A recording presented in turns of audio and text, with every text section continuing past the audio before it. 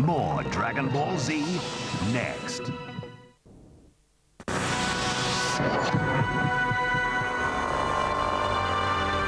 There'll be another AAA movie tomorrow night at 10.